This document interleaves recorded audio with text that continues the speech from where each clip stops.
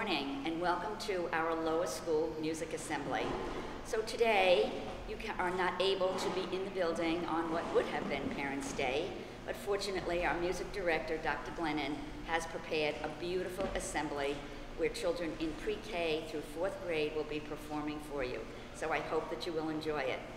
We, I would like to begin our assembly, as we do every assembly, by inviting fourth grader Leah Cassane to lead us in the Pledge of Allegiance.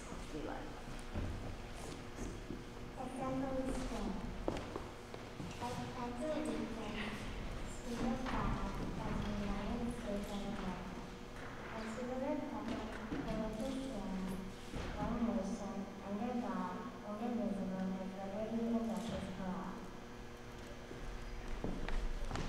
Thank you, Leela, and Dr. Glennon will now begin our assembly.